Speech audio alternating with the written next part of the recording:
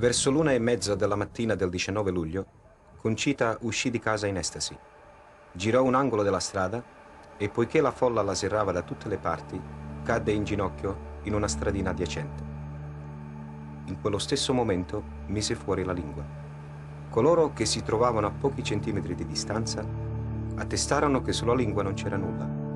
All'improvviso e ad una velocità superiore alla percezione dello sguardo umano, un'ostia bianca e splendente apparve sulla lingua della bambina.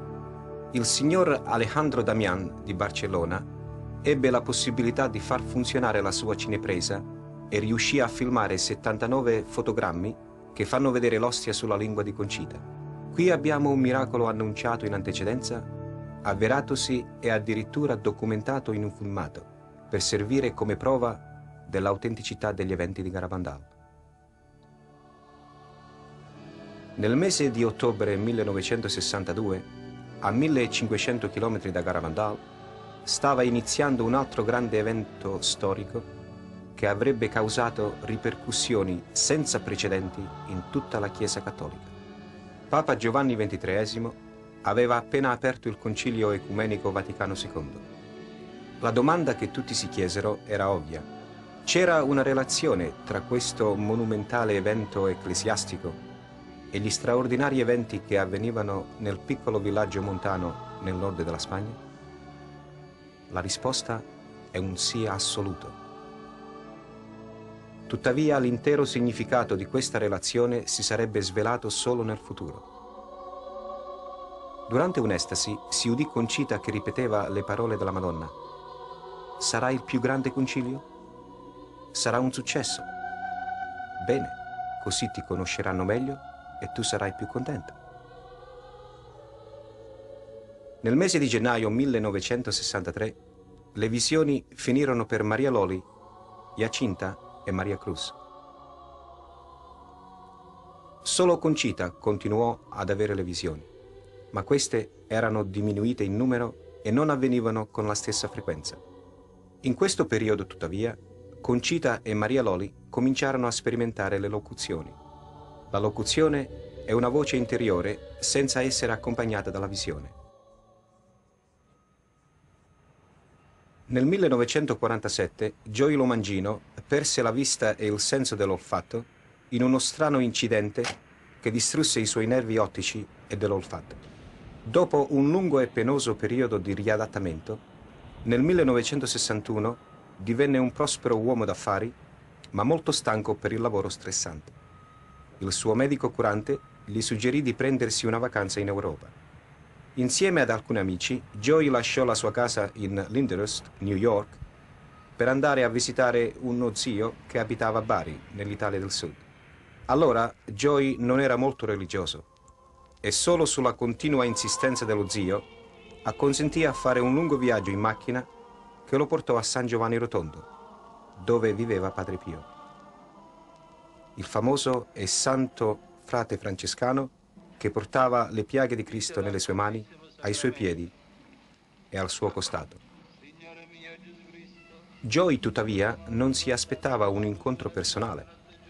Dopo la Santa Messa, lui si diresse in un'aula del convento, insieme ad altre persone, per ricevere la benedizione del Padre quando sarebbe passato.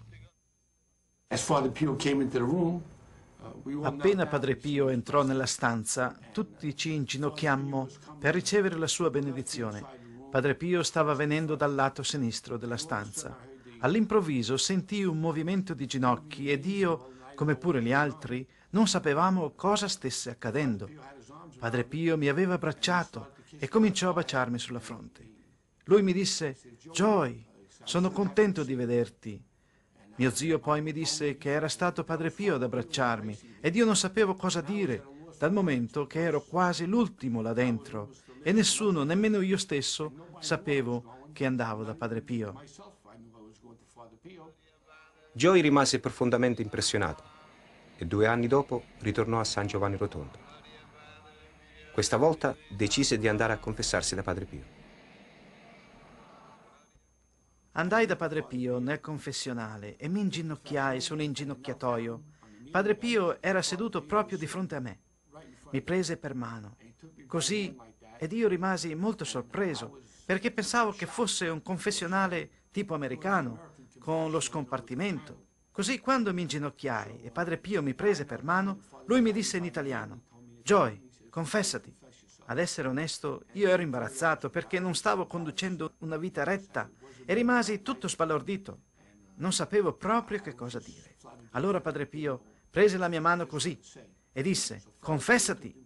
E di nuovo trovai che mi era semplicemente molto difficile parlare con lui. Allora in perfetto inglese mi disse, Joy, dice, ti ricordi quando eri in un bar con una donna che si chiamava Barbara? Ti ricordi i peccati che hai commesso? E in perfetto inglese mi descrisse tutto, la gente con cui ero, i luoghi, i peccati da me commessi. Ovviamente io stavo sudando, però con la grazia di Dio capii che se dovevo soffrire tutto questo per essere di nuovo felice, ne valeva la pena. Credevo davvero che Padre Pio poteva aiutarmi, perciò quando toccò il fondo di tutti i miei peccati, e a me sembrò che fossero passati mille anni, lui mi disse in italiano, sei pentito? Ed io risposi, sì, sì, padre, lo sono. Allora mi diede la soluzione per i miei peccati e i miei occhi cominciarono a girarmi in, nella testa. Io cominciai a stropicciare gli occhi così. La testa mi girava ed io continuai a stropicciare gli occhi e la testa continuava a girarmi. Poi all'improvviso il mio stato d'animo fu tutto rasserenato e lui mise la sua mano stigmatizzata così verso le mie labbra io la baciai, lui mi diede uno schiaffetto sulla faccia e in italiano mi dice, Joy, un po' di pazienza, un po' di coraggio e tutto andrà bene. Avevo 33 anni, ma mi sentivo come un sedicenne, avevo un forte proposito di riparare, mi ero pentito di tutti i peccati commessi nella mia vita. Mi sentivo così bene, così pulito, che non volevo coinvolgermi più con nessuno, perché avevo paura che col solo parlare potevo perdere la grazia che avevo appena ricevuto. Tuttavia Joy non sapeva che c'era ancora un'altra grazia riservata per lui, quando, insieme agli altri, si inginocchiò di nuovo per ricevere la benedizione di Padre Pio. Quando ebbi questa ferita, qui nel 1947, persi il senso dell'olfatto e questo è stato tutto cucito. Questa è una frattura di 7 centimetri sotto la fronte.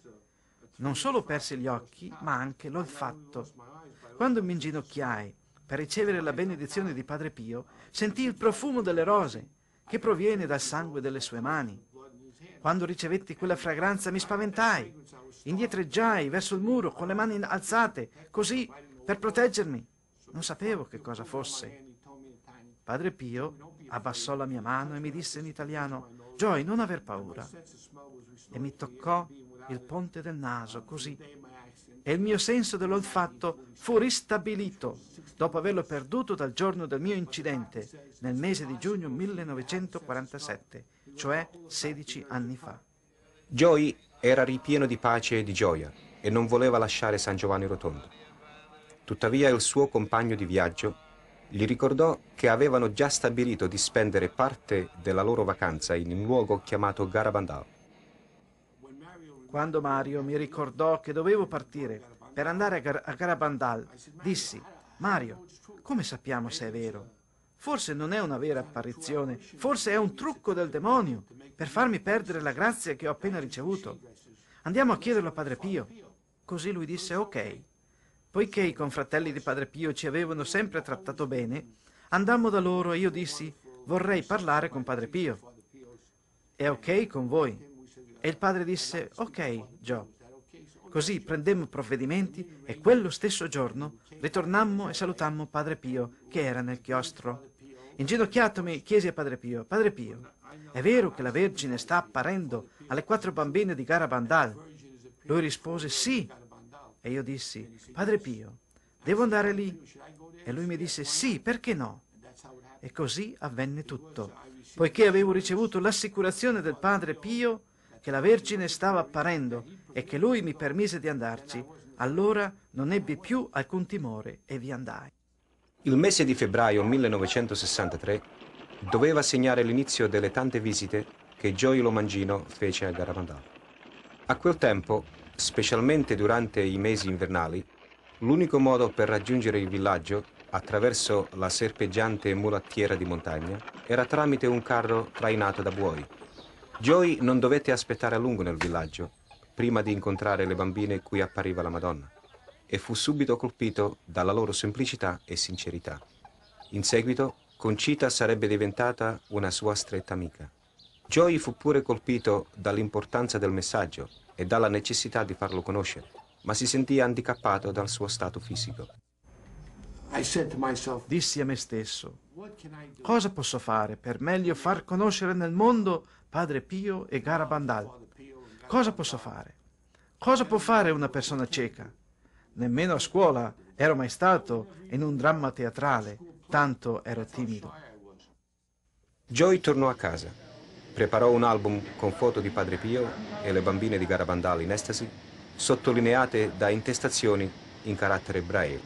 Poi cominciò a girare per le case di amici e familiari, parlando loro del famoso padre stigmatizzato e degli eventi straordinari che avvenivano a Garabandal.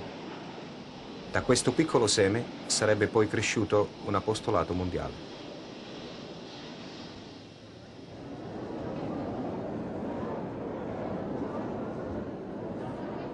All'inizio del mese di giugno 1963, Concita sbalordì i presenti con la profezia che dopo Papa Giovanni XXIII ci sarebbero stati solo tre papi e che poi sarebbe avvenuta la fine dei nostri tempi ma non la fine del mondo. Il 19 marzo 1964, festa di San Giuseppe, mentre si trovava presso i pini, Concita ebbe una locuzione in cui la Madonna le disse che il giorno del grande miracolo Gioilo Mangino riacquisterà la vista e da allora potrà vedere permanentemente. Il 18 luglio 1964 Concita ebbe un'altra locuzione in cui le fu rivelato che il giorno dopo il grande miracolo, il corpo di padre Luis Andreu sarà trovato incorrotto nella sua tomba. Il mese di gennaio 1965 iniziò per Concita con un'estasi di due ore presso i pini. Durante questa estasi, la Madonna le rivelò la natura dell'avvertimento che Dio darà per purificare il mondo in previsione del grande miracolo che seguirà. Lei disse pure a Concita che, poiché il mondo non aveva dato ascolto al suo primo messaggio, lei avrebbe dato un secondo ed ultimo messaggio il 18 giugno 1965, per intercessione dell'Arcangelo San Michele. Esaminiamo ora i grandi eventi profetizzati a Garabandal. Il primo sarà l'avvertimento. Questo sarà visibile nel cielo e poi sentito interiormente da tutti sulla terra. Nessuno potrà evitarlo. In un futuro non molto lontano, quando il mondo si troverà nel pieno di una grande agitazione generale, ad un tratto tutto si fermerà. In quel momento tutti vedranno il male che hanno fatto e il bene che hanno trascurato di fare. Sarà estremamente doloroso la gente preferirebbe morire piuttosto che subirlo. Non causerà danno fisico. Se qualcuno morrà, sarà solo a causa dello shock nel vederlo.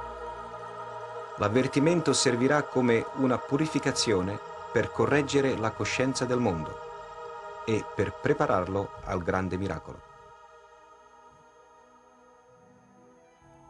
Il miracolo avverrà presso il boschetto dei nove pini avverrà di giovedì alle ore 20 e 30 della sera tra il giorno 8 e il 16 compresi di uno dei seguenti mesi, marzo, aprile o maggio. Concita conosce la data esatta e l'annuncerà otto giorni prima. Quel giorno sarà la festa di un martire dell'Eucaristia e coinciderà con un grande evento ecclesiastico nella chiesa. Tutti coloro che saranno presenti nel villaggio di Garavandal e nelle montagne vicine lo vedranno. Gli infermi che saranno presenti saranno guariti, i peccatori saranno convertiti e gli increduli crederanno. Sarà il più grande miracolo che Gesù avrà mai fatto per il mondo. A causa del miracolo,